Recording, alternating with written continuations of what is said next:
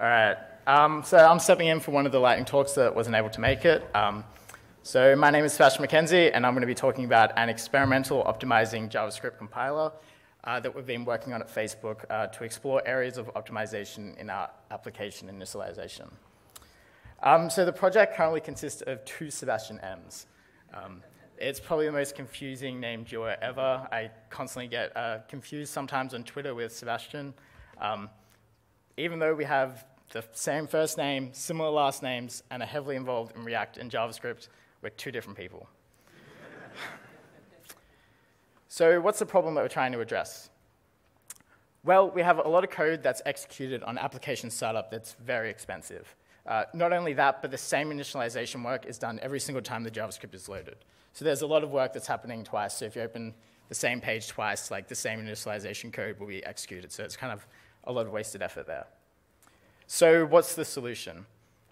Well, we can execute the JavaScript and then create a snapshot of the final state, so after all the initialization code has been ran, and then build that snapshot and then restore it on the client.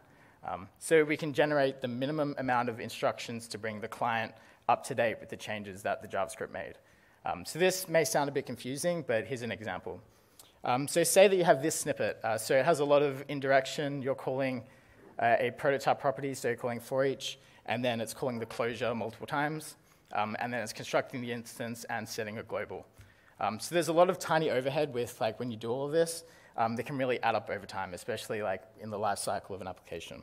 Um, so we can actually execute this code and determine what the like the minimal required steps are to get to this state.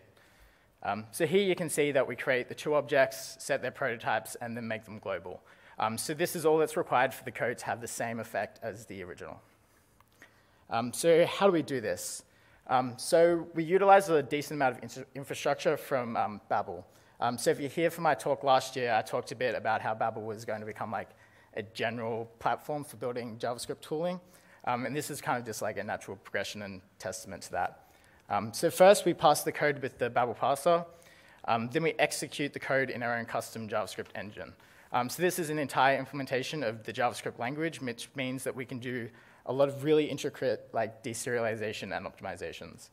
Um, so once the code has finished running, we serialize the effects that it had on the global state.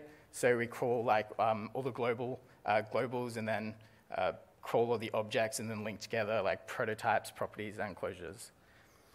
Uh, then we pass the serialized results to the Babel code generator where it generates vanilla JavaScript. So one place where this can be applied is on JavaScript libraries. So React is an excellent example of a library that does a lot of metaprogramming on initialization.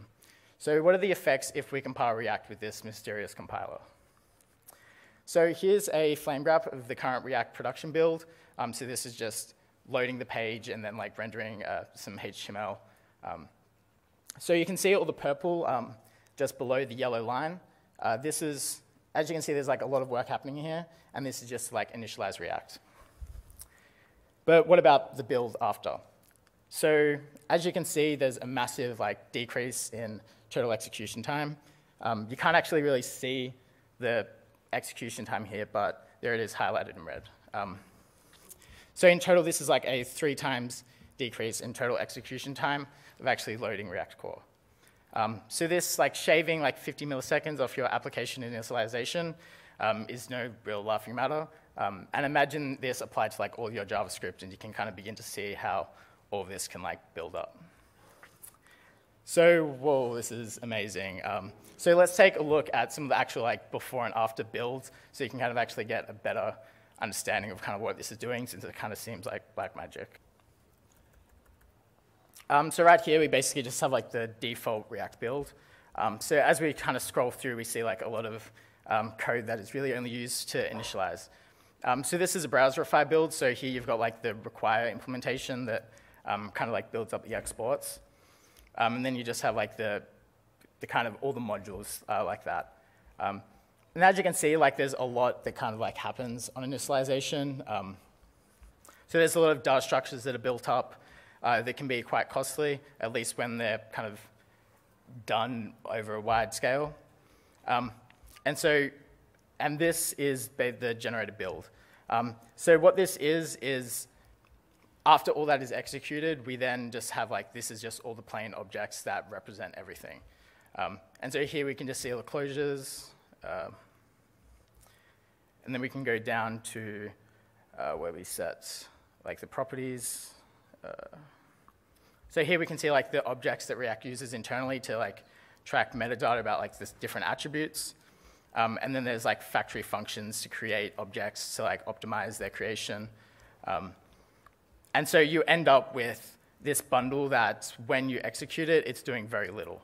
It's, it's just declaring all the functions and setting all the properties, and it's not like doing any like funky magic.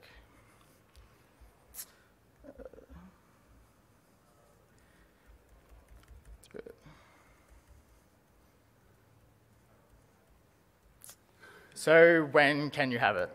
Um, not sure. So this is currently, so this is kind of like really experimental. We're still kind of investigating ways to improve application optimize, like initialization.